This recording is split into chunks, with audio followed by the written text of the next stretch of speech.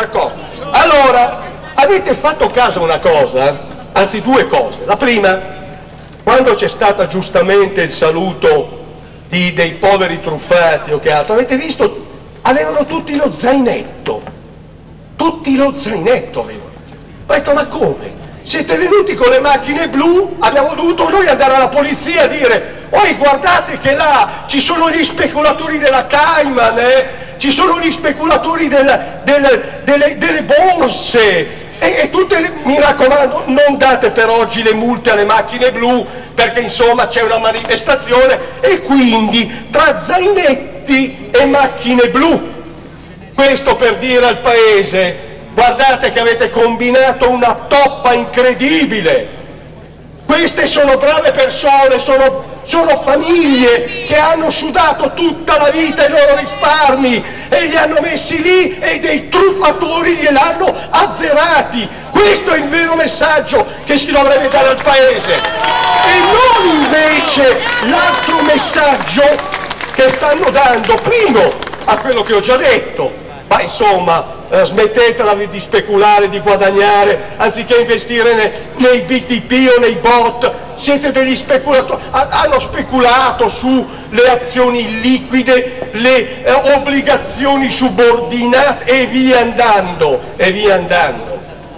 Il segnale che stanno dando al Paese è di una gravità incredibile che va oltre, anche se il vostro è il problema da risolvere, ma che va oltre il problema che oggi appunto stiamo discutendo. È contro il risparmio e non l'hanno ancora capito questa banda di ignoranti. Non hanno ancora capito che la cosa dirompente è il messaggio contro il risparmio. È bene che sono stati qua e ho finito perché volevo solo due o tre minuti è bene che sono stati qua anche quelli di Banca Veneto, di Banca di, di, di, di Vicenza e via, perché ci sono gravissimi problemi anche di truffe e di raggiri, anche in tante altre banche. E allora, caro governo, una sveglia, una sveglia, bisogna trovare la soluzione, bisogna cambiare le regole, bisogna mandare a casa chi non ha fatto vigilanza. Banca Italia e Corso a casa! Questo è il punto vero!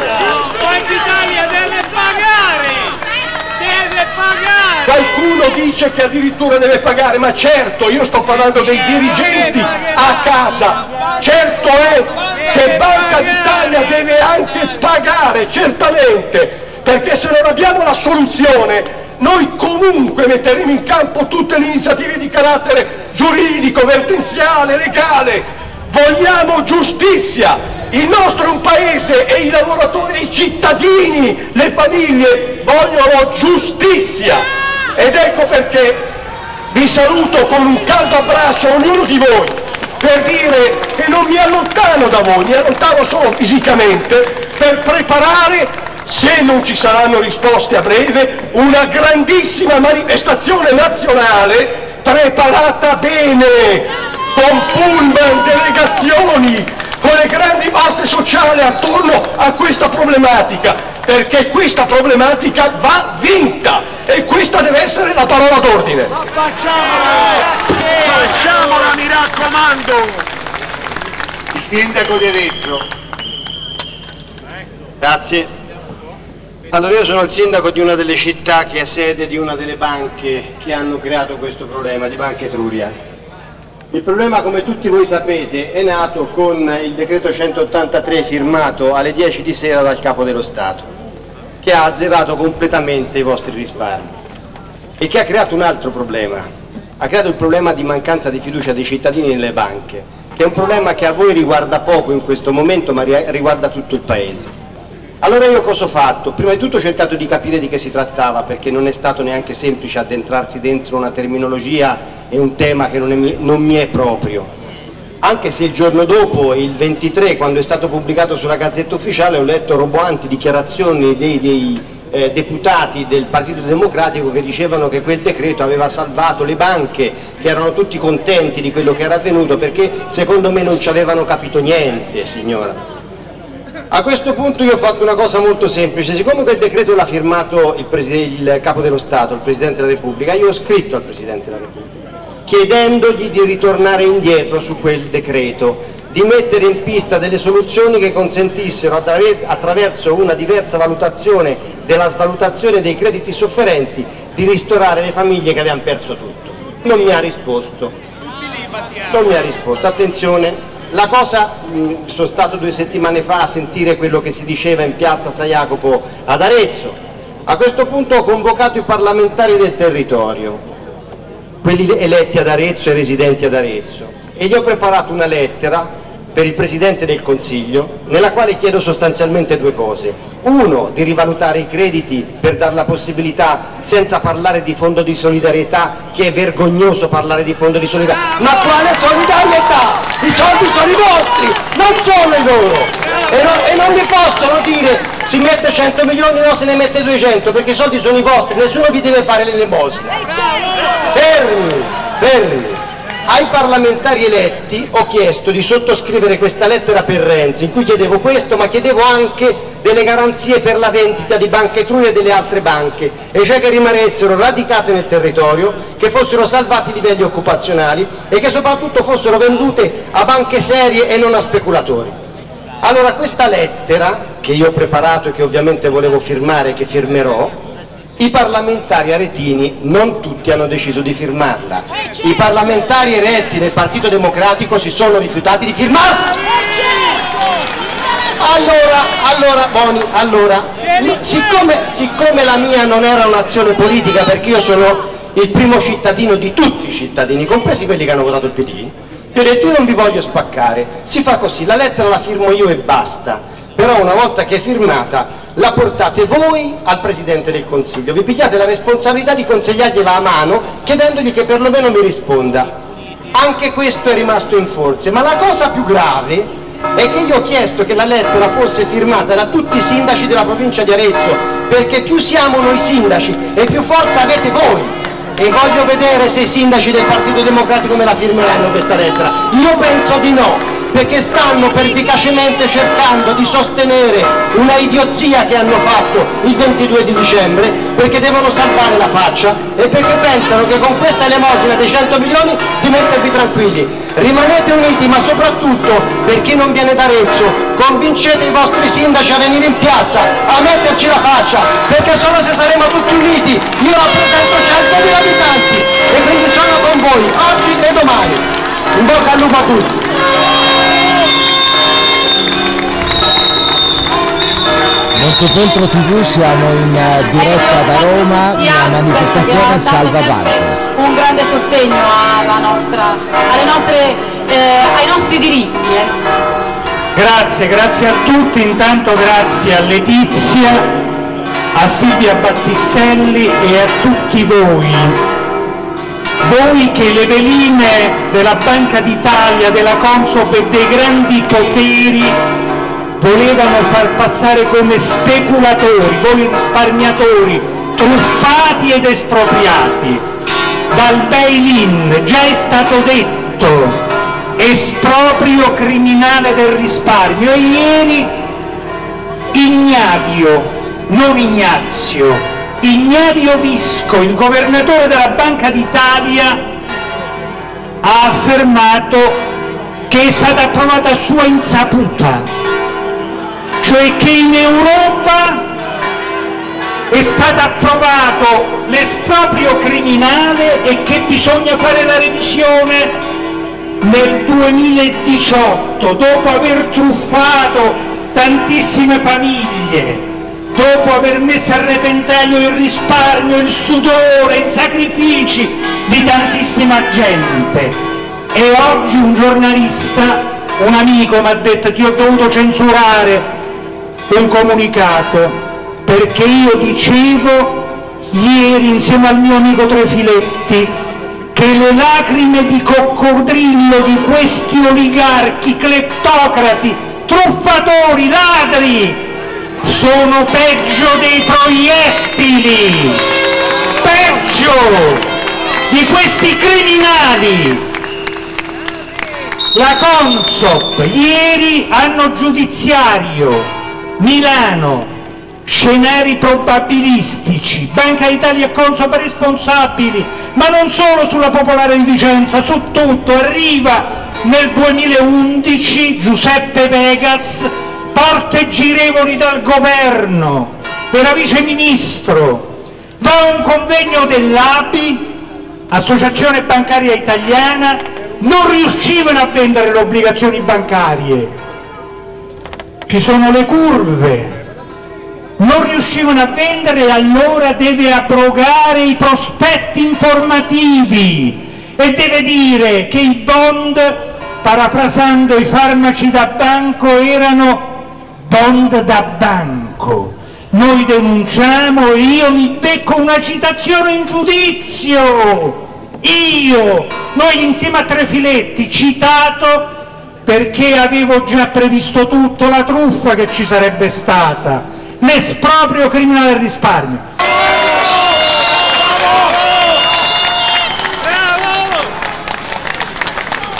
Onorevole Daniele Pesco, Movimento 5 Stelle. Ciao.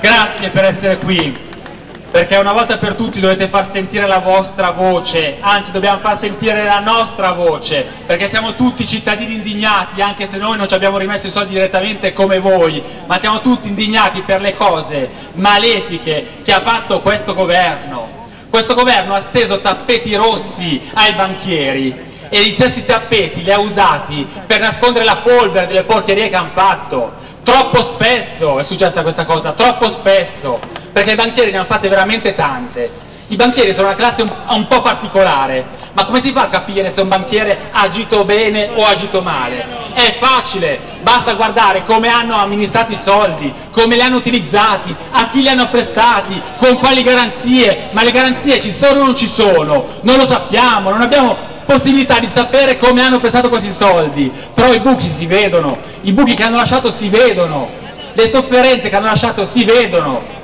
uno in particolare, ad esempio, guarda caso Caltagirone, un grande gruppo edilizio okay, che costruisce in tutta Italia, ci ha notificato i nostri porti dappertutto, ebbene basta mettere su Google Caltagirone, eh, Banca Etruria e scoprite che 60 milioni se li è presi e non sono tornati. Mettete Caltagirone e, e Banca Popolare e, e di, di Ferra, e la, la Carife e trovate altri 50 milioni. Ma allora che cosa c'è dietro? Che commissione c'è dietro tra le banche, chi ci ha governato? E questi, e questi che hanno preso soldi e chissà come li hanno utilizzati. Insomma è una cosa vergognosa, dobbiamo andare a fondo, ma dobbiamo informarci tutti insieme, dobbiamo leggere bene gli articoli di giornale, le poche cose che pubblicano e dobbiamo catalogarle, perché la commissione d'inchiesta possiamo fare tutti noi, tutti insieme, andando a cercare bene le notizie e catalogandole, perché siamo noi che dobbiamo fare la cronistoria di quello che è successo. Sì, abbiamo proposto la, la proposta di una commissione d'inchiesta in Parlamento, è necessario farla, ma noi temiamo che la vogliano utilizzare poi per nascondere le cose come ha sempre fatto, perché alla fine in commissione d'inchiesta chi deciderà, se la maggioranza ce l'ha il PD, decideranno loro chi ascoltare e come ascoltarlo. E quindi abbiamo paura che la utilizzino ancora per insabbiare le cose, ma noi le cose le abbiamo già dette fin da subito, le soluzioni le abbiamo proposte fin da subito durante la legge di stabilità per prima cosa abbiamo chiesto di annullare il decreto 183-2015, quello con, il, con, il, quale abbiamo rubato i soldi. Ebbene, il governo in 20 minuti, negli stessi 20 minuti che ci ha messo a fare quel decreto, ne può fare tranquillamente un altro e dire che tutte le persone che ci hanno rimesso i soldi devono essere risarcite immediatamente. E lo sappiamo benissimo che non servono tantissimi soldi, 500 milioni, tutti i piccoli risparmiatori con 500 milioni potrebbero essere tranquillamente risarciti. Non sono tanti soldi, ma è doveroso che vengono utilizzati per fare questa cosa. Ma che cosa ci vogliamo aspettare però da questo governo che ha approvato il bail-in in 448? In 448 l'ha approvato, hanno fatto la direttiva europea, è arrivata, hanno fatto la legge di delegazione europea ed è stata approvata. Gli unici a opporsi siamo stati noi, gli unici, forse qualcun altro, però veramente siamo stati gli unici a far presente le, le, le cose gravi che erano comprese in questo decreto del bail-in eppure il governo ha voluto fare di tutto per approvarlo in fretta e furia, ma come mai ha voluto fare così, così, in fretta? Perché dopo un mese, neanche, dopo due settimane, ha fatto l'altro decreto, quello con cui ha applicato il bail-in e guardate cosa è successo. tantissime persone sen- senza risorse perché? perché sono state rubate da questo governo. Una cosa veramente scandalosa. Noi vogliamo che si faccia luce, vogliamo che si faccia luce su tutto il mondo bancario per, capire, per far capire a tutti come agiscono le banche. Va tenuto presente il fatto che le banche hanno questa peculiarità, questa caratteristica, possono prestare soldi, ma in realtà loro li possono creare i soldi. Perché se guardate i bilanci delle banche vi accorgete che a un totale di raccolta fatta corrisponde circa un totale di impieghi fatti e poi c'è qualcosa in cassa, ma sono sempre briciole, ok, la riserva, ma sono sempre briciole. Ma che cosa vuol dire? Vuol dire che se quei soldi li hanno prestati, quei soldi non tornano, non ci sono i soldi per da dare alle persone che li hanno depositati. Che poi noi diciamo deposito, ma in realtà non, sono, non è un deposito, è un prestito. Quando noi portiamo i soldi in, in banca, facciamo un prestito alla banca, quindi otteniamo solo il diritto di essere risarciti, forse. Risarciti siamo, saremo debitori, eh, creditori privilegiati, ma è tutto lì, è tutto lì, non siamo dei veri depositanti veramente ragazzi è scandaloso, il mondo bancario va, va, va, va visto in modo diverso e va regolato in modo diverso, a partire dalla vigilanza, da Banca d'Italia. Che cosa ha fatto Banca d'Italia in questi anni su queste banche? Non ha fatto nulla, ha, ha, commissariato alla fine, ma anche durante il commissariamento poteva riuscire a mettere a posto le cose e non l'ha fatto. Perché non l'ha fatto? Perché ha voluto coprire quei, quei, crediti che ha fatto, ha voluto coprire quei finanziamenti, perché sono stati ai loro amici, e quello è il fatto. Dobbiamo far luce su quello, su, su vedere dove sono andati a finire i soldi tutti quegli impieghi, 8 miliardi e mezzo di sofferenze, ma ci rendiamo conto della cifra? 8 miliardi e mezzo e poi hanno valutati un miliardo e mezzo per, per far cosa? Per riuscire logicamente a truffare voi, a truffare i risparmiatori, gli obbligazionisti. Ragazzi non aggiungo nient'altro, lascio la parola ai miei colleghi con i quali veramente stiamo facendo un lavoro a me sembra discreto in commissione e continueremo a batterci per i vostri diritti, per i diritti di tutti. Ciao, grazie. Maurizio Gasparri, un, nostro, un altro nostro importante alleato. Grazie a voi per l'invito, non sono qui per fare comizi ma perché vostra, dire, il vostro comitato mi ha informato di questo ulteriore appuntamento e così come quando siete andati davanti alla Banca d'Italia non ho voluto mancare, ma il problema non è venire solo agli appuntamenti che voi organizzate per far come dire, non cadere nel dimenticatoio una vicenda vergognosa e scandalosa, ma anche negli altri giorni. Noi dobbiamo impegnarci io appartengo al gruppo di Forza Italia, noi riteniamo che il rimborso delle persone truffate non sia soltanto un vostro preciso diritto, ma sia un interesse pubblico, perché se questa vicenda si dovesse chiudere con la gente truffata, il sistema delle banche avrebbe, signora, vabbè, vabbè, allora io continuo a parlare, vabbè. Allora, la Banca d'Italia ha voi! Signora, Voi stia calma. si dovrebbe Vabbè. vergognare! Chi si deve vergognare? Lei! Ma guardi, signora, io sto qua perché noi abbiamo anche fatto la mozione di sfiducia al governo Renzi e alla Boschi. Vada dalla Boschi a urlare e dal padre e dallo zio che hanno fatto le cose che hanno fatto. Ora, se i grillini organizzano le cose così, cari amici, io sono stato invitato da voi per parlare, perché lei evidentemente è al servizio della famiglia Boschi che si è fottuta i soldi con i prestiti della banca Etruria. Siamo in democrazia e ognuno dice quello che vuole, e ognuno dice quello che vuole. Noi chiediamo che si faccia una commissione d'inchiesta. Che vuole signora? Ma che cosa vuole? E che cosa vuole? Io? E che so io? Vado da Renzi e da Boschi signora e sicuri perché i truffatori si chiamano Partito Democratico che hanno prima svuotato il Monte dei Paschi di Siena e poi la Banca d'Etruria a urlare sotto la sede di Renzi vanno a urlare alla Banca d'Italia che manda le veline ai giornali per dire che se n'era accorta. E se se n'era accorta doveva impedire alla Banca Etruria e alle altre banche di truffarvi. E allora andiamo a cacciare a calci nel sedere Visco, la famiglia Boschi e gli altri. Noi chiediamo che si restituisca fino in fondo perché altrimenti le banche, le banche non potranno trovare più nessun cliente dopodiché i grillini che urlano si preoccupino di Grillo condannato per omicidio cari amici. Quindi questa è la realtà. Dopodiché noi abbiamo eh, mi dispiace. Quindi noi andiamo fino in fondo, commissione d'inchiesta, sfiducia al governo e la Banca d'Italia. Dopodiché, cara signora, se alcuni pensano che i responsabili, signore, 25.000 euro, vada a casa della Boschi a farsi ridare dal babbo e dal fratello. Noi andremo avanti perché è giusto tutelare i risparmiatori e gli infiltrati vadano a Banca d'Italia a leccare le suola a Vincenzo Visco.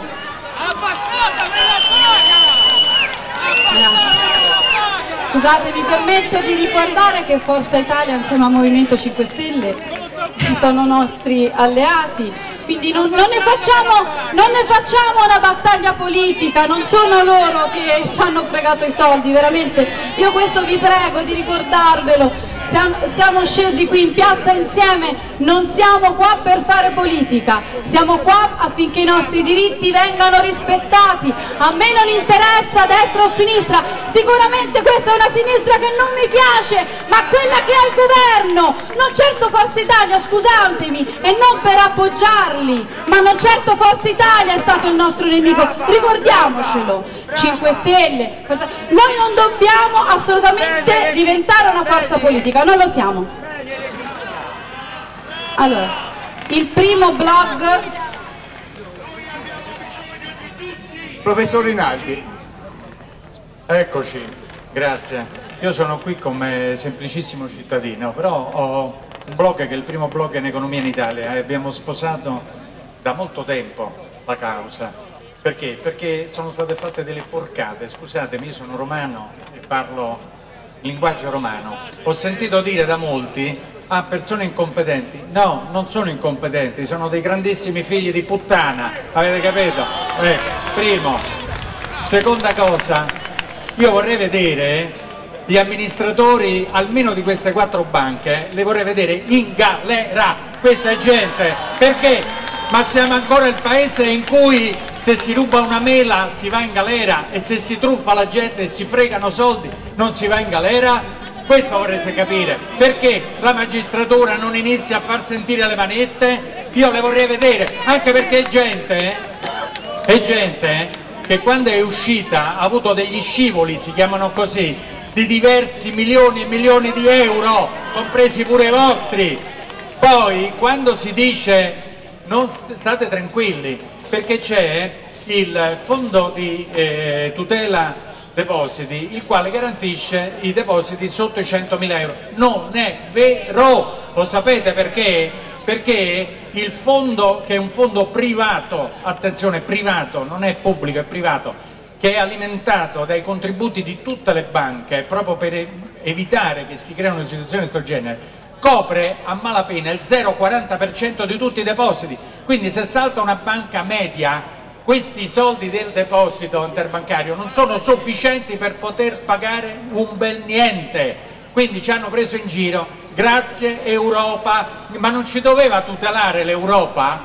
Allora io vorrei che i vari presidenti del Consiglio non eletti che si sono alternati qui a Palazzo Chigi invece di andare in Europa a tirarsi giù le brache, perché fino adesso si sono tirati giù le brache, facessero esattamente le stesse identiche cose che fanno gli altri partner europei. Perché Renzi, invece di correre di corsa il 22 di novembre nel fare il famoso decreto 180, non ha detto, cari signori, nell'interesse nazionale, nell'interesse del risparmio, è previsto dalla Costituzione all'articolo 47 che dice che la Repubblica tutela il risparmio sotto ogni forma. Lo sapete che cosa vuol dire? Non vuol dire soltanto bot, BTP e CCT, ma qualsiasi cosa, tutto, compreso azioni, obbligazioni, obbligazioni subordinate, tutto è considerato risparmio tanto da essere tutelato dalla Repubblica Italiana, lo prevede la Costituzione. Ebbene Renzi avrebbe dovuto dire nell'interesse nazionale visto che in Italia è rimasta solo ed esclusivamente la fiducia degli italiani nei confronti del sistema bancario, e vi ricordo che una volta eravamo i più grandi risparmiatori del mondo,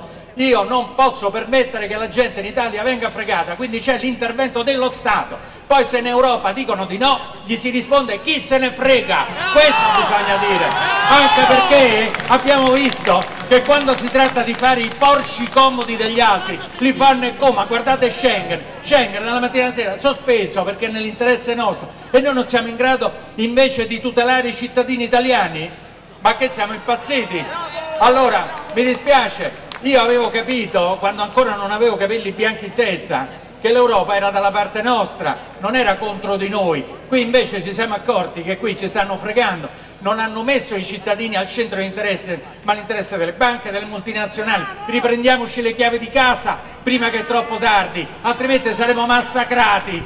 Dopodiché, sempre il nostro caro amico Renzi, si fa per dire chiaramente se non mi sparate, esatto, il 31 di dicembre avrebbe dovuto dire, cari signori, c'è un bel consiglio dei ministri prima di andare a festeggiare il cenone e da domani è sospesa l'applicazione del bail-in in Italia sine die, fin tanto la situazione non è modificata. L'hanno anticipato! L'hanno anticipato! E ancora peggio l'hanno anticipato. anticipato! Voglio dire un'ultima cosa. Voglio dire un'altra cosa. Ieri il governatore della Banca d'Italia se n'è uscito dicendo già bisogna rivedere.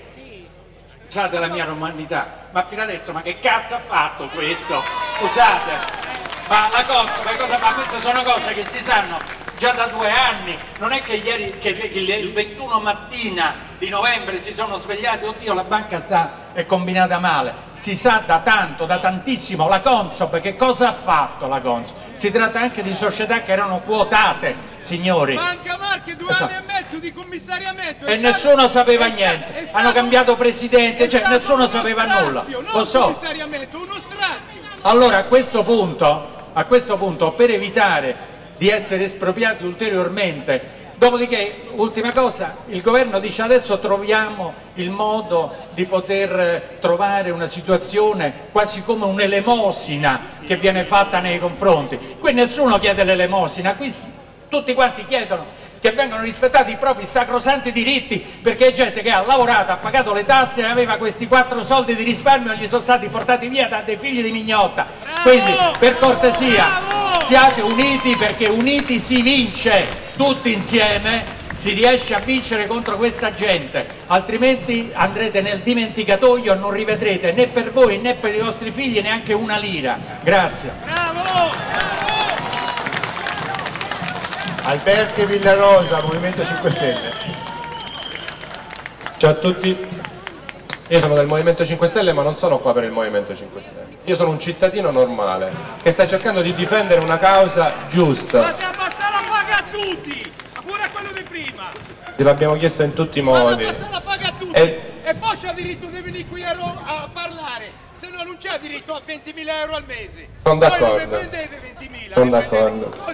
Ma non- tutti 5.000 e devono Non facciamo una ragione politica, qua ci sono persone... sono soldi No, no, soldi si figuri, sta, sta dicendo una cosa che, fa, che va, va a mio favore, ma non è questo il, il tema di oggi. Il tema di oggi è questo.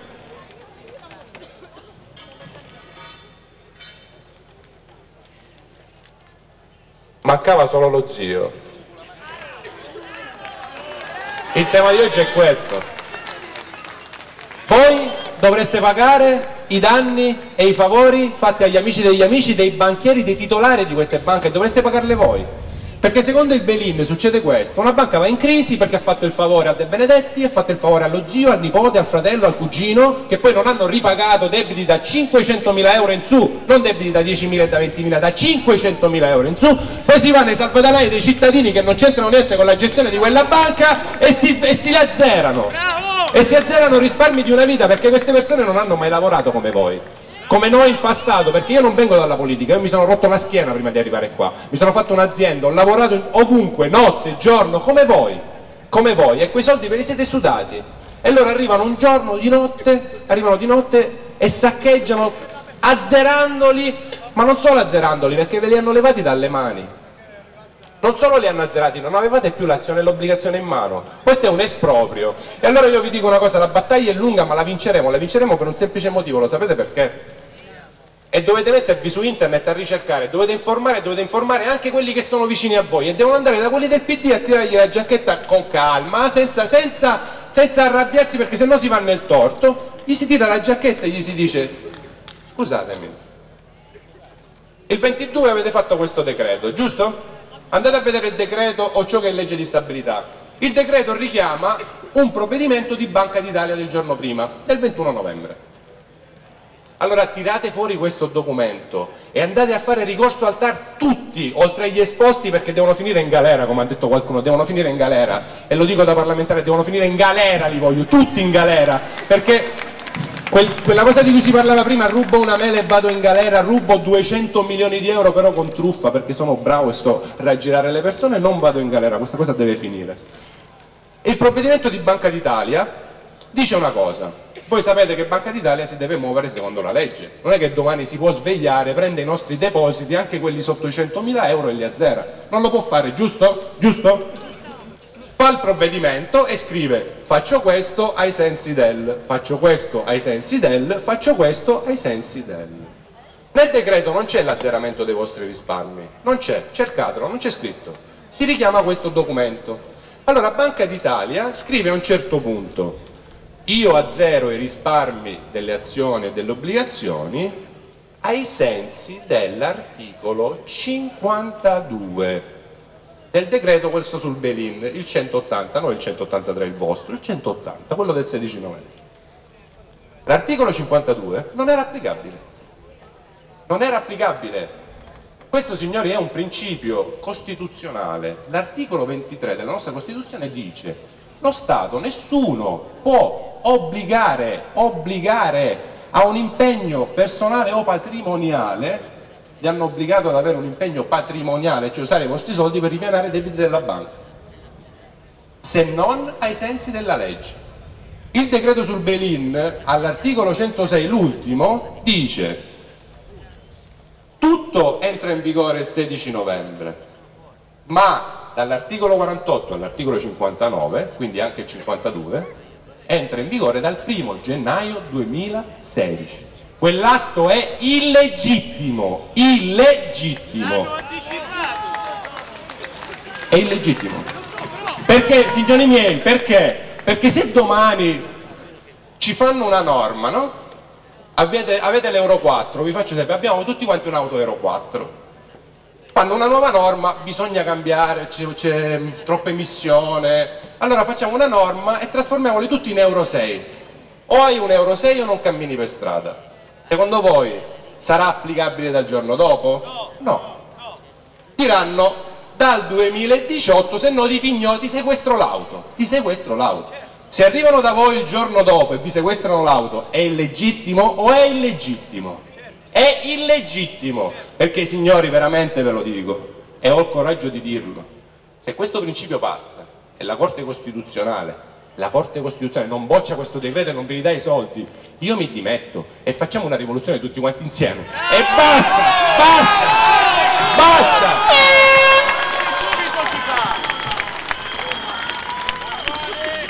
Buongiorno a tutti, allora io volevo fare una domanda prima di tutto, l'associazione esiste, giusto? L'associazione vittime del Salvabanca esiste? No, perché in commissione finanze l'altro giorno, settimana scorsa, abbiamo chiesto di audirvi, di sentirvi, volevamo che voi veniste da noi a raccontare cosa è successo all'interno del Parlamento. Sapete cosa ha risposto Petrini del PD? Del PD? Ha detto ma, ma questi chi sono? Chi sono? Non è che possiamo chiamare tutti in commissione. Petrini del PD, questo è il PD, il PD che vi prende per il culo dalla mattina alla sera.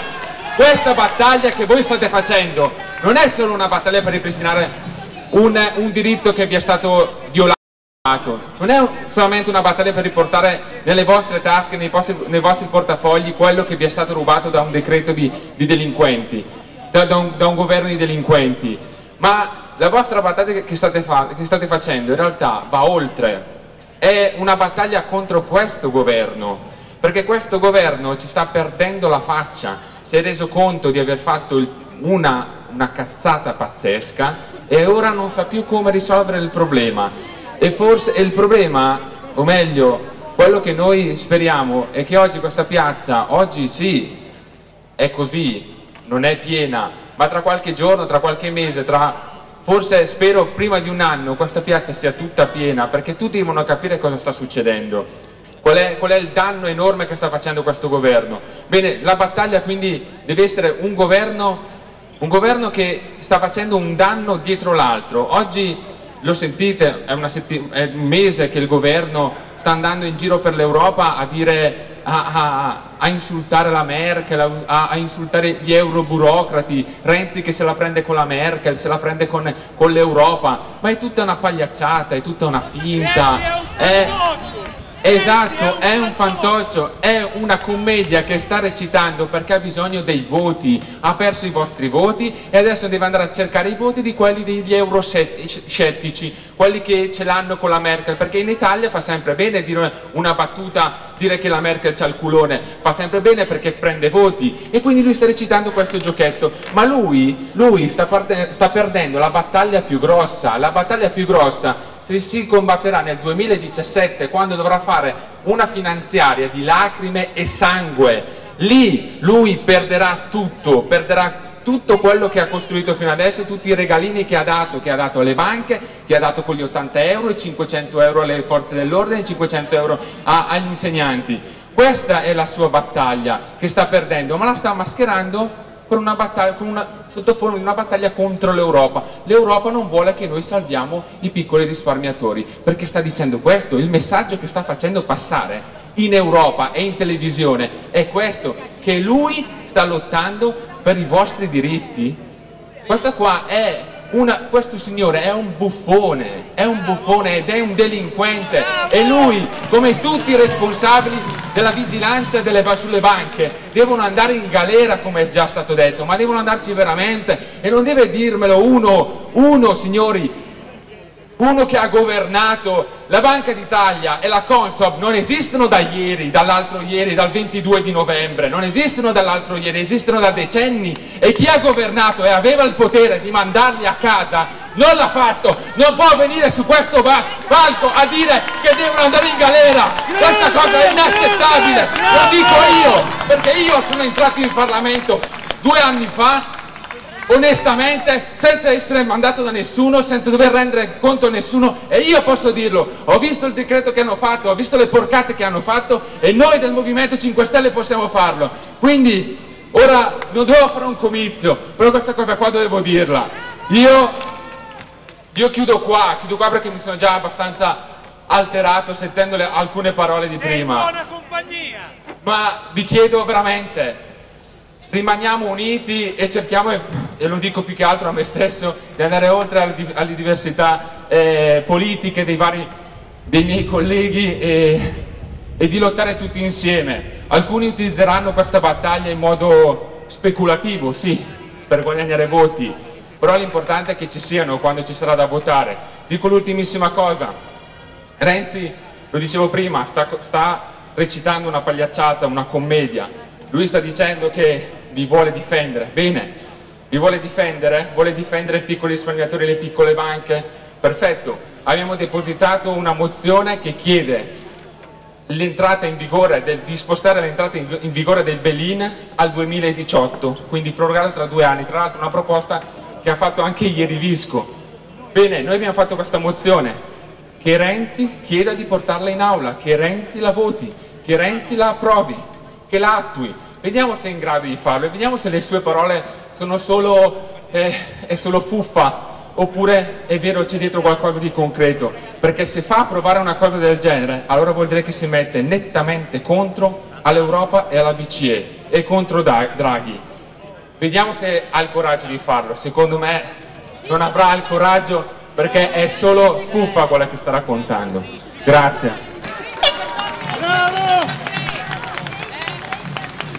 Vincenzo La Croce, Associazione per Banca Etruria. Buongiorno a tutti.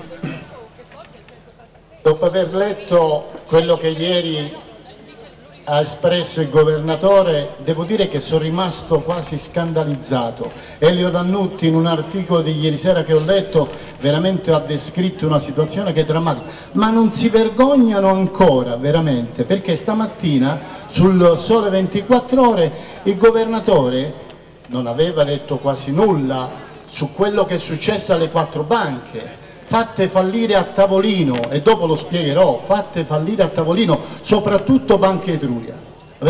Quindi non fare alcun riferimento a tutti quei risparmiatori che hanno perso i soldi è una cosa vergognosa ha chiesto il rinvio 2000, a giugno 2018 dei bail-in e allora deve annullare i quattro provvedimenti che ha fatto il 22 novembre del 2015. Perché li deve annullare?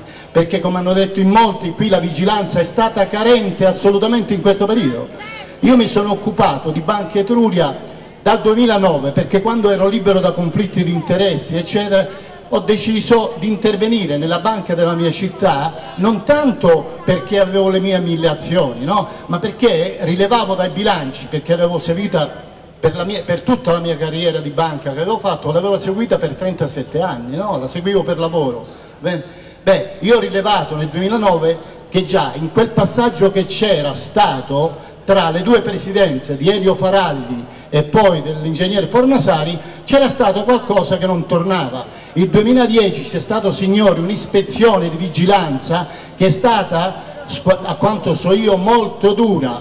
Beh, dopo ne, nel 2011 l'avvio di procedura sanzionatoria è stata archiviata perché nel 2011 io insieme ad altri amici, a Rossano Soldini, a tanti altri cittadini, ci siamo scontrati, abbiamo messo la faccia, abbiamo fatto una lista alternativa a quella dei vertici di allora. Abbiamo, siamo stati sconfitti perché voi sapete come funziona nelle popolari, funziona in questo modo, perché che, che ne dicono i dipendenti hanno raccolto quasi 7500 deleghe, insomma, quindi per carità, eh, noi abbiamo messo la faccia perché volevamo dire proprio che Banca Etruria era in grave difficoltà, ma non era in gravi difficoltà per come poi eh, siamo arrivati al fallimento diciamo, disposto da, dalla vigilanza di Banca Italia. Banca Etruria c'è stata successivamente un'ispezione dal 2012, no? una settoriale ai crediti finita a marzo, con un rapporto durissimo, è stata poi estesa a tutta la banca che è ultima, e poi è finita il 6 dicembre 2013. Io il 28 luglio 2013 ho mandato una, una, relazione di 10 pagine che non ho mai reso pubblica ancora perché ci sono anche nomi e cognomi ma che porterò con un esposto nei prossimi 15 giorni a Roma al dottor Pignatone perché noi preferiamo presentare questo esposto a Roma perché qui è la sede della Banca d'Italia no? Perché a mio giudizio la banca andava commissariata il 6 dicembre del 2013 contestualmente diciamo, alla eh, consegna del rapporto ispettivo perché abbiamo visto da quel rapporto emergevano cose molto gravi, le sanzioni sono state anche abbastanza significative invece si è preferito far continuare diciamo, la banca che era già in gravi difficoltà no? già durante l'ispezione del 2013 sono state messe qua circa 120 milioni mi dicono di prestiti subordinati quelli che voi poi hanno azzerato a tutti voi no? Quindi sinceramente c'è stato fatto un aumento di capitale deliberato l'11 novembre del 2012 ma realizzato a giugno-luglio 2013 in corso di ispezione, quindi queste cose sono notorie, si sanno tutte, eccetera. Eh. Ma arrivo velocemente diciamo, a quello che è successo eh, diciamo, in data 22 novembre. Perché questo? In data 22 novembre Banca Etruria aveva ancora un capitale netto positivo per 22,5 milioni.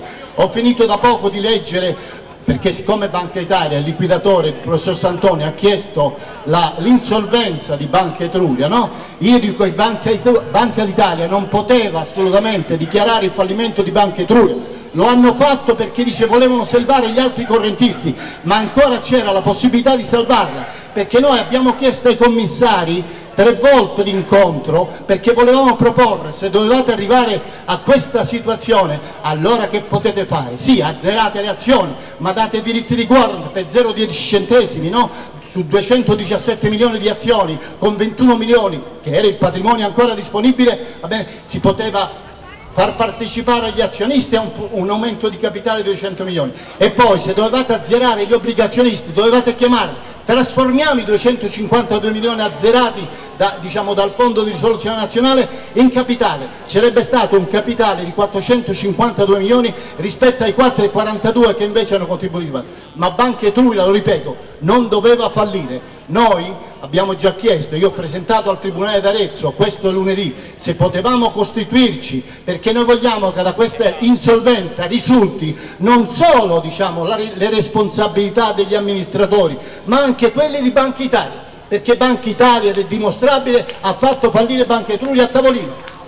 Quindi assolutamente diciamo, noi lo abbiamo chiesto, in Camera di Consiglio noi non ci potremo essere l'8 diciamo, di, di febbraio, però assolutamente noi la memoria la presenteremo io l'ho fatta ieri sera, la presenteremo. Noi ai cancelleri fallimentari non ce l'accetteranno, ma dovranno sicuramente dare la possibilità che tutti i creditori, tutti, io sono creditore, ero azionista, ma le ho ottenute le mie migrazioni soltanto per intervenire in Banca Etruria, perché io lavoravo, e lo dico, ho lavorato per 37 anni, 37 anni in Banca d'Italia, gli ultimi 20 all'ispettorato vigilanza, quindi un po' le ispezioni li seguivo, mi interessavo, eccetera, eccetera. assolutamente ritengo che c'è stata una vigilanza assolutamente carente e quindi qualcuno ne dovrà rispondere come associazione abbiamo deciso che presenteremo questo esposto anche a Roma perché molti più, tantissimi saranno gli esposti anche ad Arezzo penali e sicuramente alla fine le varie procure dovranno prendere in considerazione queste denunce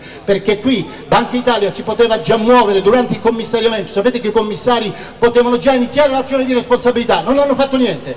Ecco, anche il commissario liquidatore che ha chiesto ora, ha, ha fatto ricorso all'insolvenza, ecco, poteva assolutamente chiedere già l'azione di responsabilità. Speriamo che prima o poi la faccia. Grazie.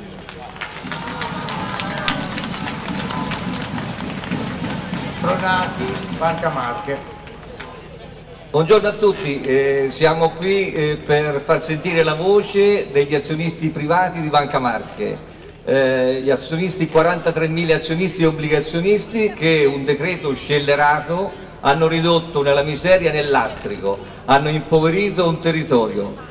Ora ci vogliono far passare per speculatori, ma speculatori non, non, lo siamo, siamo sempre stati risparmiatori, abbiamo acquistato azioni e obbligazioni di Banca Marche per aiutare il territorio, perché? Per far crescere la nostra banca che avrebbe poi distribuito sul territorio e avrebbe affidamenti alle industrie e alle, famiglie per far crescere, crescere l'economia. Questo è quello che ci hanno detto, ci hanno detto sempre che la banca delle Marche era una banca solida, che le azioni e le obbligazioni erano al pari dei bot. Questo poi se ne siamo accorti solo alla fine che è stata una truffa, una vera truffa, siamo stati derubati di tutti i nostri soldi. Noi vogliamo essere risarciti di tutti i nostri soldi, non vogliamo l'elemosina di Stato, vogliamo tutti i nostri soldi, tutto quello che abbiamo perso. Faremo di tutto, lotteremo in tutte le sedi e non ci stancheremo. E si sbagliano se credono che noi ci stancheremo perché lotteremo fino alla fine, dopo di noi lotteranno i nostri figli e i nostri nipoti. Grazie. Eccoci qua, abbiamo con noi Giacomo Rossi, Fronte Azione Popolare Pesaro Urbino, eh, coordinamento civico Marche. Buongiorno a tutti. Io non sono stato truffato, non ho perso niente, ma abbiamo creduto opportuno di essere qui vicino a voi come coordinamento civico, come movimento civico e abbiamo portato dei cittadini truffati della nostra provincia Pesaro Urbino e crediamo che questo messaggio debba essere eh, sparso anche agli altri, anche ai vostri vicini di casa. In primo luogo questa è una truffa vera e propria, in secondo luogo perché Qui si va a depauperare degli interi territori, si va a togliere economia a degli interi territori. In terzo luogo perché credo che questo sia l'inizio, solo l'inizio, di una truffa legalizzata che purtroppo secondo me riguarderà anche altre banche e non, eh, il, non darvi il giusto eh, risarcimento, non ridarvi i soldi, molto probabilmente eh, dimostra questo fatto. Sarà l'inizio della fine. Io faccio un appello, se si parla di truffa è bene che la magistratura intervenga, intervenga una volta per tutte. È bene che la Cariatide Cotonata, il Presidente della Repubblica, intervenga. C'è un'intera parte di nazione truffata ed è, ed è ora che il Presidente della Repubblica intervenga. Lancio un appello alle associazioni di consumatori, state unite, stiamo uniti, non dividiamoci, non dividiamoci in centomila manifestazioni, stiamo uniti, non tuteliamo i nostri interessi di parte ma stiamo uniti. E, e quello che possiamo fare noi, tutti noi veniamo da qualche paese, da qualche città, facciamo pressione ai nostri sindaci, facciamo pressione ai nostri deputati, i nostri senatori eletti nel territorio. E qui veramente vorrei fare un complimento al sindaco di Arezzo, l'unico primo cittadino che ci ha messo la faccia, è la prima volta che lo vedo di persona ma è stato l'unico che è venuto qui a metterci la faccia. E, e poi eh, perdonatemi anche un ringraziamento a Letizia che naturalmente in maniera gratuita e disinteressata ha organizzato tutta questa manifestazione. Credo che un applauso sia dovuto. Grazie.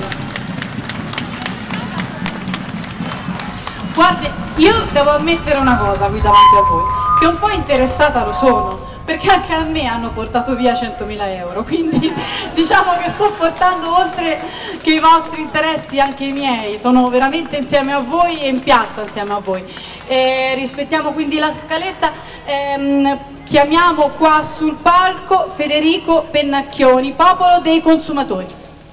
Grazie Letizia, buongiorno a tutti vendevano alla gente prodotti inadatti. Non l'ho detto io, non l'ha detto la nostra associazione di consumatori, l'ha detto il commissario europeo ai servizi finanziari. Questo mi sembra che ce la dica lunga sulle operazioni che sono state fatte e che hanno portato a questo risultato. D'altronde noi pensiamo che l'Europa ehm, non per forza vada sempre bene, eh, non è sempre, ce lo dice l'Europa, ce lo dice quando dobbiamo sostituire il parmesan australiano col nostro parmigiano e adesso eh, non va bene che ce lo dica l'Europa che queste cose che vi hanno venduto non vadano bene? Bene, allora è come se vi avessero sfilato il portafogli dalla tasca, la stessa cosa, al nostro numero verde stanno arrivando dei casi incredibili di 85 anni ai quali hanno fatto svincolare i bot per acquistare eh, azioni subordinate. Ecco, obbligazioni subordinate, la, la signora conferma. Allora, quello che io posso dirvi è non state con le mani in mano. Il 23 febbraio scade scadono i termini per le denunce per truffa. Qualora qualcuno di voi ritenga di essere stato truffato, che abbiano modificato il vostro MIFID, che abbiano messo firme che non, che c'erano, che hanno messo una crocetta alla laurea quando qualcuno invece magari ha la terza media, legittimo, ma non necessariamente bisogna acquistare dei prodotti eh, così finanziariamente complessi. Allora, in questi casi il, il, consiglio che noi vi diamo è rivolgetevi alle associazioni di consumatori, non è necessario che veniate da noi, rivolgetevi alle associazioni di consumatori, fatevi difendere, non rimanete fermi, non rimanete inerti, altrimenti qui non si arriva da nessuna parte. Domani noi incontreremo il Presidente Nicastro, Presidente delle, nuove, delle quattro Good Bank, quello che gli, che gli, diremo chiaramente, staremo ad ascoltare che cosa ci dirà ovviamente e avremo occasione poi di farvelo presente attraverso l'associazione, attraverso Letizia Giorgiani, Silvia Battistelli che anzi voglio ringraziare per averci invitato. Quel, staremo a sentire che cosa ci diranno. Quello che gli diremo noi sarà molto semplice, rimborsi per tutti, non vogliamo elemosine, rimborsi per tutti, rimettere i soldi in tasca ai risparmiatori truffati. Parallelamente, se qualcuno di voi pensa di essere stato truffato, che si rivolga alle associazioni di consumatori. Grazie. Adesso qui sul palco insieme a noi Roberto Fiore, Forza Nuova.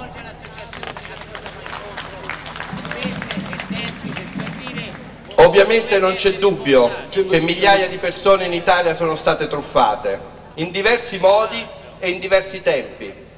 Le storie d'orrore le abbiamo sentite tutti, firme apposte, false, poi arriva il perito, il perito nominato dal magistrato che dice la firma non è falsa, tantissime cose così. Ecco, io vorrei che la vostra tragedia si, si trasformasse in un atto di lotta, perché se voi iniziate a riunirvi, a combattere, moltissimi, troveranno, moltissimi troveranno la forza. In città, ad esempio, dove ci sono state, sento dire, ci sono alcune città campane, dove magari certi poteri delle banche sono anche collegati con altri poteri, dove sono stati migliaia le persone nel tempo che sono state truffate. Tutta brava gente a cui non piace andare in piazza. E il fatto che oggi siate in piazza è un fatto positivo, importante. Però per me è importante dirvi anche un'altra cosa, che questo stato di cose è così non perché ci sono i truffatori o non solamente perché ci sono i truffatori, ma perché c'è un potere politico marcio collegato con i poteri bancari che deve tenere il sistema così bloccato in questo modo per fare grandi profitti per pochi. Io poche settimane, attenzione, due anni fa ho presentato un esposto per un processo che è iniziato poche settimane fa, quello contro tutta la classe politica e contro Standard Poor's e Morgan Stanley a Trani. Lì D'improvviso il Presidente del Consiglio, nominato da dieci giorni, diede 7 miliardi di denaro delle nostre tasche a Morgan Stanley e Standard Poor's con un bonifico il 3 gennaio, quando la gente ancora stava stappando le bottiglie. Questo che cosa sta a significare? Che se il potere politico è agganciato in questo modo, direi, criminale al potere delle banche, L'unica rivolta possibile è quella popolare, dal basso, in ogni città. Io penso alla Toscana. Perché la Toscana deve essere martoriata in questo modo? Pensiamo a Siena, pensiamo ad Arezzo, una delle regioni più organizzate, più belle, più turisticamente importanti, dove l'arte non ha pari al mondo. Ecco che lì si sono annidati gli usurai, le conventicole, per fare grandi profitti loro. E allora L'unica cosa che vi posso oggi dire è andate, rimanete in piazza, prendete gente ogni giorno, contattate gente che in ogni città soffre. Anche oggi arrivano notizie di gente che si è suicidata per motivi, forse non sono gli stessi motivi, ma il clima è lo stesso. Il clima è di una grande usura che è andata al potere e che sta lasciando i lavoratori, la classe media italiana a terra. Quindi se, se deve essere rivolta popolare che inizi da qui. Grazie.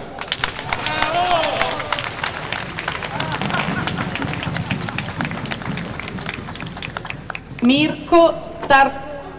presentati da solo perché tanto ormai ti conosciamo. Eccolo qua, funziona. Ciao. Ciao a tutti, sono Mirko Tarroni, vengo da Ferrara, sono qui in rappresentanza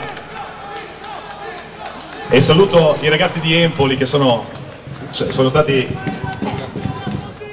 Bene, bene. Allora, eh, dicevo sono qui in rappresentanza dei eh, risparmiatori azzerati ferraresi, eh, sono qui per raccontare eh, nello specifico eh, la storia di Ferrara, ma apro una parentesi semplicemente perché la storia di Ferrara è esemplificativa eh, del fatto che se eventualmente c'è stato un, un, errore nel collocamento dei titoli, a Ferrara questa cosa è un pochettino più in ombra, nel senso che le obbligazioni a Ferrara risalgono all'emissione delle obbligazioni molto tardo, 2006 e 2007 per la maggior parte. Ehm, la storia di Ferrara è quella di una banca già vigilata a partire dal 2009 e quindi eh, noi ci sentiamo meno eh, truffati dalla banca, per l'amor di Dio se ci sono stati degli errori nel collocamento è giusto che vengano accertati, ma nel nostro caso eh, è l'azzeramento del governo che emerge sua, nel suo essere eh, clamoroso, nell'essere eh, straordinariamente anomalo. Eh, la storia della, della Carife racconta di una vigilanza cominciata nel 2009 addirittura, eh, quindi Banca Italia era eh, dentro alla banca già eh, per esempio dal 2013 con il commissariamento che è durato fino al 2015. Eh, di questo non si parla, io invito i giornalisti a venire a Ferrara ad ascoltare questa storia perché eh, da questo si evince che eh, andare a cercare delle responsabilità all'interno della banca, cosa sicuramente da fare se ci sono stati degli errori, ma non coglie esattamente nel segno. Occorre capire come un commissariamento iniziato dal 2013 e eh, terminato nel 2015 a luglio eh, con una proposta che era quella di salvare la banca con un, un, intervento del fondo interbancario, era già una soluzione proposta da Banca d'Italia, pronta sul tavolo soltanto da adottare. Eh, come il fatto di avere già una soluzione sul banco si sia potuta trasformare improvvisamente dalla sera alla mattina, incredibilmente, in un baratro, in un inferno come quello che viviamo. Avete visto le persone che sono salite sul palco prima, non c'è bisogno di raccontarlo che non sono speculatori, basta venire qui e guardarli, basta ascoltarli, non c'è bisogno di una laurea per capire questa cosa, occorre semplicemente vedere che hanno un italiano stentato, che non, probabilmente eh, so, sono a malapena in grado di riconoscere quello che viene scritto su un documento di sintesi di un titolo. Per questo è inaccettabile, soprattutto per noi di Ferrara, ma ritengo che lo sia per tutti quelli coinvolti in questa faccenda, essere additati come speculatori. Qui non stiamo parlando di speculatori, sono persone che sono rimaste incastrate, e qui venga un tema cruciale, in un cambio di normativa, cioè abbiamo testimonianza da parte dei vertici di Banca Italia, dei vertici di Consob, dei vertici di ABI, attenzione, che questa normativa non doveva essere retroattiva Cosa vuol dire? Lo spiego così anche mia nipote di 5 anni lo può capire. Eh? Che queste norme non dovevano, essere, eh, non dovevano riguardare titoli che erano già stati emessi, titoli che tutti noi oggi abbiamo in portafoglio, anch'io sono un azionista della Cassa di risparmio di Ferrara, dovevano riguardare soltanto i titoli di nuove emissioni, titoli che dovevano andare ad, eh, ad non a piccoli risparmiatori ma a investitori istituzionali si dice, a grandi investitori, non certo al pensionato, al commesso, all'impiegato, eh, al camionista che abbiamo visto sul palco. Ecco, allora, richiamandoci a questi presupposti, è fondamentale chiedere a gran voce al governo che trovi una soluzione perché non è possibile venire oggi a chiedere a noi di avere fiducia in questo sistema dopo che dalla sera alla mattina ci hanno cambiato le regole del gioco. Non si fa così. Io lo insegno a mia nipote che ha 5 anni che quando gioca a nascondino non può barare a metà del gioco e inserire una regoluccia che fa comodo solo a qualcuno, anche perché qui parliamo della tutela del diritto al risparmio, che è un diritto eh, costituzionale, vuol dire che l'articolo 47 della Costituzione, come hanno già detto altri prima di me, va in man- tutelato in maniera indiscriminata. L'arbitrato non è una soluzione, è parte del problema. Non possiamo dire restituiamo i soldi a questo e a quell'altro no. Questo perché, tra parentesi, si parte dal presupposto che ci sia una truffa allo sportello. No, assolutamente no, ci ribelliamo a questa soluzione. Noi diciamo il diritto al risparmio è un diritto che vale per tutti, per tutti, dal primo all'ultimo. E ci tengo a sottolinearlo, per obbligazionisti e per azionisti. Questo deve essere ribadito a gran voce, deve riguardare tutti, non possono essere gli ultimi della società a rimetterci. Grazie.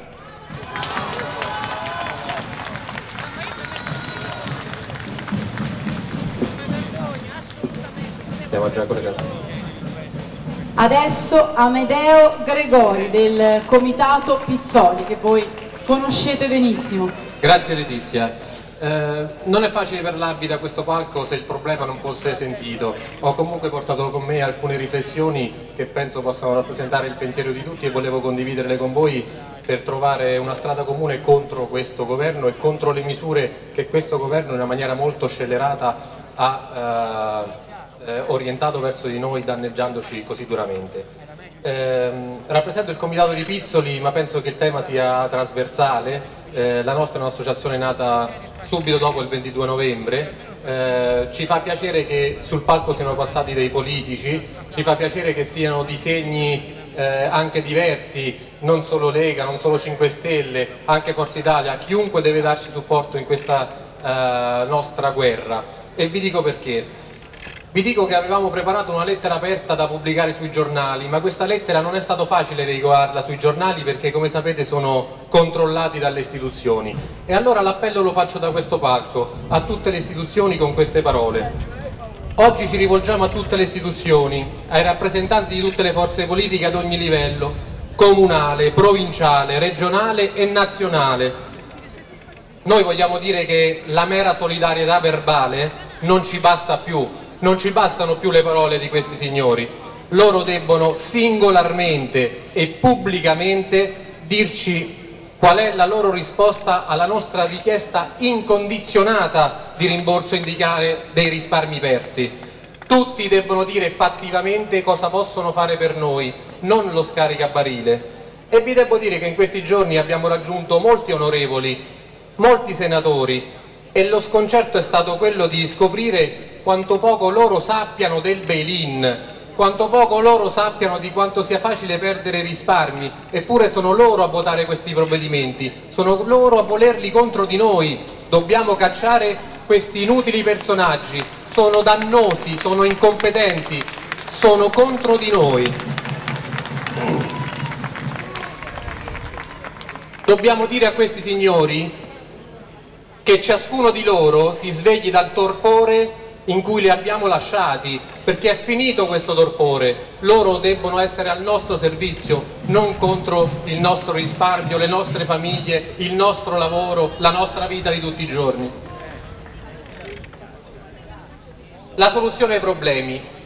Abbiamo molte proposte, abbiamo cercato di veicolarle nelle sedi opportune, ma i tecnicismi non ci interessano, non ci interessano le macchinazioni, non vogliamo entrare in meccanismi complessi come quelli dell'arbitrato nelle quali dobbiamo andare a dimostrare di meritare i nostri risparmi. I nostri risparmi li hanno meritati le generazioni prima di noi e li hanno bruciati loro per noi. Da anni sentiamo parlare di come sia impossibile anche solo correggere le troppe grandi indecenze della casta che invece continuano ad essere tutelate dalla politica come fossero diritti acquisiti e invece è bastata una sola notte per cancellare il diritto acquisito più importante, il risparmio, il nostro risparmio, quello guadagnato, accantonato onestamente con il sudore della fronte, il diritto al futuro delle nuove generazioni, questo è il risparmio. Vedete, carissimi, se il nostro lavoro non, serve, non fosse sempre più precario, se le nostre pensioni non fossero un sogno sempre meno vero, se i servizi essenziali come la sanità, il diritto alle cure non fossero sempre più difficili e sempre più a nostro carico per sempre meno qualità, ma che necessità avremmo di risparmiare i soldi? E invece il risparmio è l'unica garanzia che siamo stati educati a costruirci da soli per dare un minimo di certezza al futuro dei nostri figli. Capite? Eppure, una notte di novembre, qualcuno ha voluto anche questo, i nostri risparmi rubati per legge dello Stato e per colpa di qualcuno che lo Stato aiuterà a proteggere con tanti artifici. Non è così? Ci diranno che i responsabili saranno individuati e colpiti? Sappiamo bene quanto questo non sia vero, specialmente nel nostro paese. E allora penso che insieme a voi tutti quanti si possa dire alle istituzioni ci obbligate a tenere i nostri risparmi in banca, ci obbligate a pagare per tenerli lì, perché anche il semplice conto corrente non è gratis, ci obbligate a rischiare tenendoli in banca, perché anche il conto corrente non è sicuro, ci obbligate a perderli tenendoli in banca, anzi lasciate che le banche li rubino e che li rubino pure per voi, questo diciamo alle istituzioni. Alle istituzioni diciamo vi riteniamo tutte responsabili di questo ladrocinio lo diciamo al governo per averlo pensato così ed averlo pianificato in tutti i dettagli contro di noi. Lo diciamo al Parlamento perché il Parlamento è pieno di ignoranza, è pieno di superficialità rispetto alla grandezza di questo problema. E lo diciamo, signori, al Presidente della Repubblica per aver richiamato duramente le istituzioni nel discorso di fine anno. Questo hanno scritto i giornali, ma a noi le, le parole del Presidente della Repubblica sono sembrate acqua fresca perché il Presidente della Repubblica ha promulgato una legge che va, che va, comunque contro il diritto al risparmio, che è un diritto costituzionale. Questo diciamo. E a Banca d'Italia e Consob, finti organismi di garanzia, ma chi avete controllato? A chi scrivevate le vostre lettere riservatissime sul, ehm, riguardanti tutto quello che succedeva ai nostri risparmi? Noi dovevamo essere informati di ciò che succedeva a risparmi e messi per, eh, sull'avviso in tempo per poterli ritirare e metterli a sicuro diversamente, lontano dalle banche. E dunque oggi che cosa possiamo dire a questi signori? Vi sembra dunque questa educazione finanziaria? È questa l'educazione che dovremmo tutti ricevere da voi? A voi diciamo solamente ridateci tutti i nostri soldi.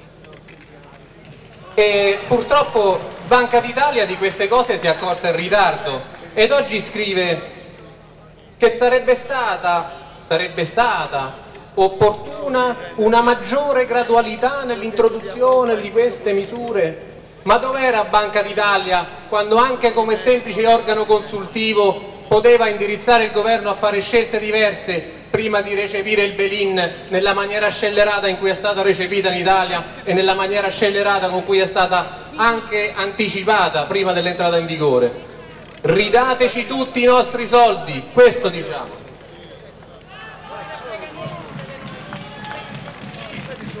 Vedete, noi siamo forse più attaccati di questi politici e di questa classe dirigente allo Stato di quanto lo siano loro, ma abbiamo una forte determinazione e abbiamo la più semplice delle cose dalla nostra parte, la verità.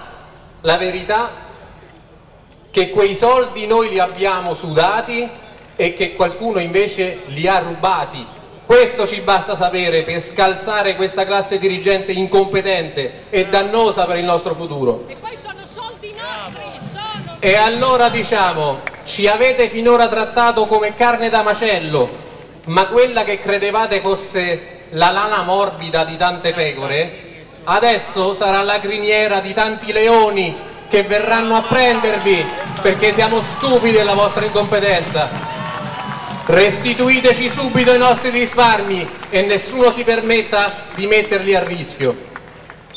Vedete, qualcuno al governo ha giustamente osservato diamo accoglienza ai migranti in modo che i loro figli non servino odio contro di noi. Quali sentimenti immagina il governo, il Parlamento, il Presidente della Repubblica? Quali sentimenti immaginano nell'animo dei nostri figli per avergli rubato il risparmio? Chi si è posta questa domanda?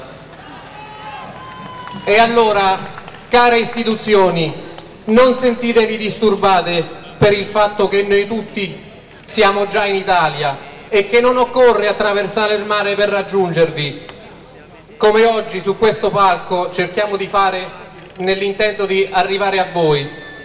E se oggi siamo tanti e sempre di più a dirvi senza condizioni, ridateci tutti i nostri risparmi.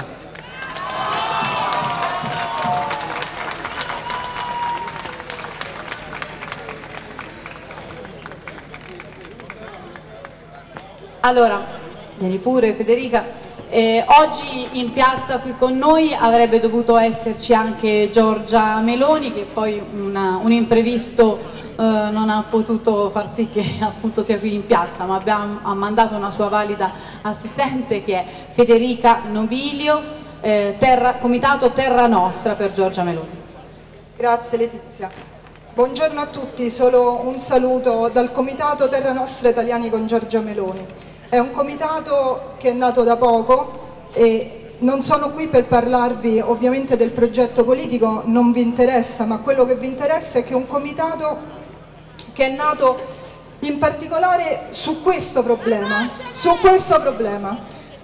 Il problema dei risparmiatori, perché vedete il punto è che il governo di Renzi, il governo del PD ha creato un conflitto sociale, l'ha creato volutamente e quello che si sta tentando di fare è di mettere le persone, di mettere gli italiani gli uni contro gli altri, di andare proprio ad incidere su quelli che, sono quelli che sono i bisogni primari. Allora il Comitato di Terra Nostra, che ripeto nasce soprattutto su questo problema della truffa ai risparmiatori, adesso partirà con un progetto lo lanceremo a breve, quindi mi raccomando seguiteci in modo tale da poter, da poter eh, sapere quello che si farà, dove saremo presenti su tutte le piazze italiane a partire dall'Alta Italia fino al sud e saremo presenti proprio per informare le persone, per dare l'assistenza. Ciao, ciao 5 Stelle. Per, dare, per favore occupatevi delle, degli interessi degli italiani, grazie, piuttosto che del, dei vostri.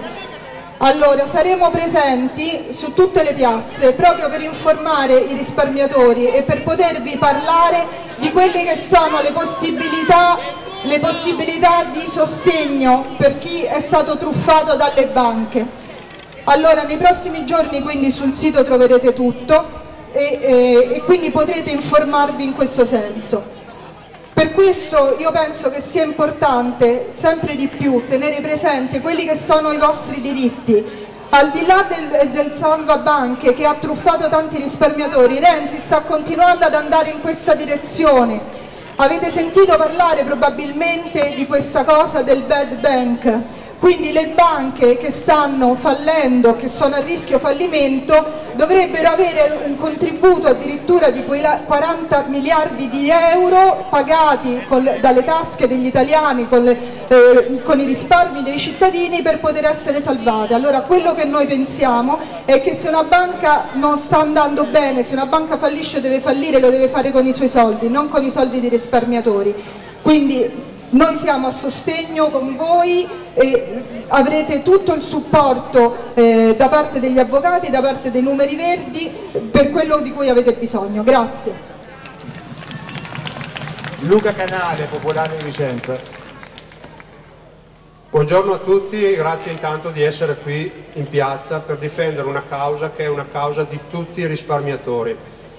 Io sono qui oggi per uh, parlare per l'Associazione Nazionale degli Azionisti di Banca Popolare di Vicenza, una banca che fino a qualche mese o anno fa era considerata una delle più solide de del territorio e che raggruppava 117.000 soci.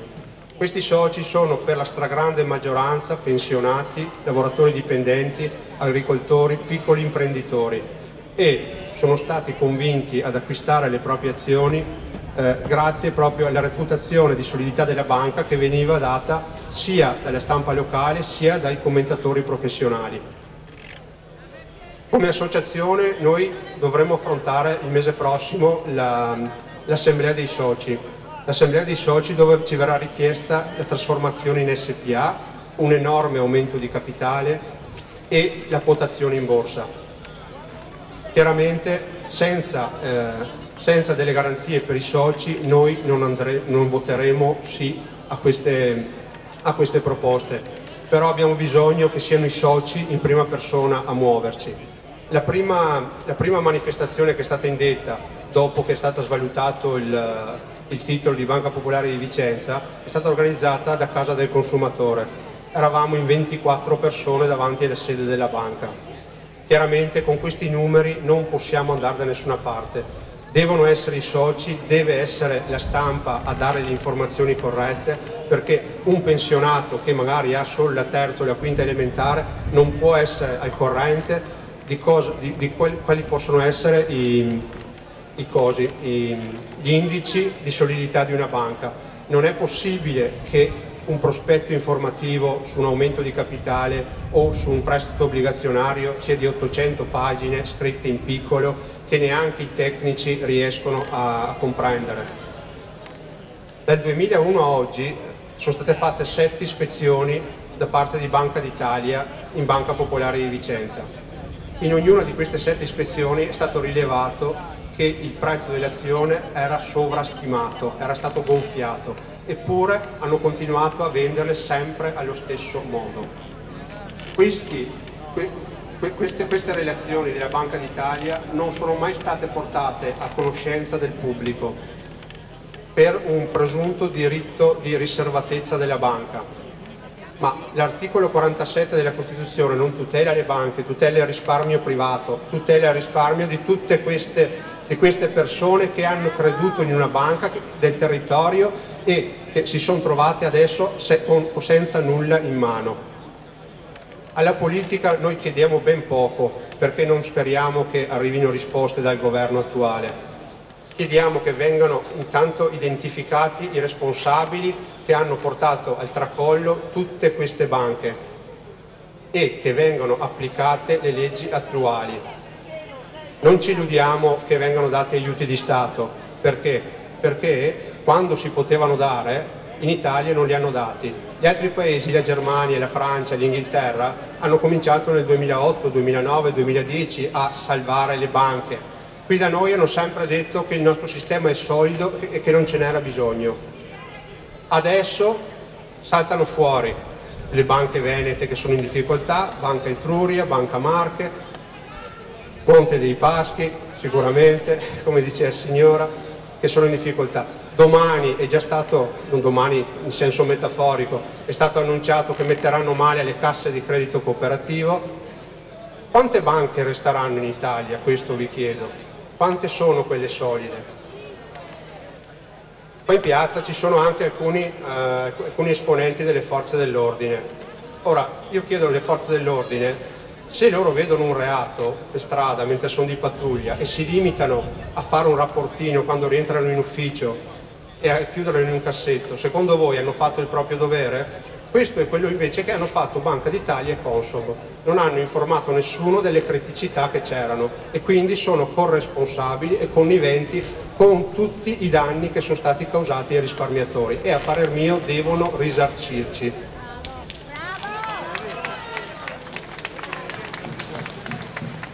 Un'ultima cosa e poi cedo la parola. I soci devono muoversi in prima persona. Le associazioni, tra cui queste, gli organizzatori di oggi che ringrazio intanto, le associazioni non dispongono dei nominativi dei soci, anche avendoli non possono fisicamente andare a contattare tutti i soci, quindi devono essere i soci ad attivarsi, ad informarsi, ad avvicinare le associazioni, perché non basta restare in poltrona e aspettare che qualcun altro ci tolga le castagne dal fuoco. Bisogna alzarci, sarà difficile, bisogna muoversi, venire a Roma, andare ad Arezzo, andare a Vicenza, andare a Udine, dove ci saranno queste manifestazioni ed essere tutti assieme, perché non, altrimenti non avremo nessuna risposta. Grazie. Grazie. L'ultimo intervento, se non sbaglio, in eh, scaletta, Andrea Vivi nostra associazione Vittime del Salvabanche che tra l'altro era presente in delegazione con Padoan per sentire appunto la proposta dell'arbitrato. Andrea. Io sono molto preoccupato. Lo ero già prima del 22 di novembre perché ho una figlia disoccupata da 7 anni, una nuora che ha superato 30 anni e che non troverà mai lavoro, un figliolo a 32 anni che lavora ancora come apprendista, quindi ero estremamente preoccupato il fatto del salvabanche mi ha veramente messo grossi pulcini sulla testa. Io mi trovo cittadino di un paese dove è il governo che ruba e quindi tutte le forze dell'ordine che ci parano dai reati fuori dalle banche non ci proteggono né dentro le banche né dal nostro governo.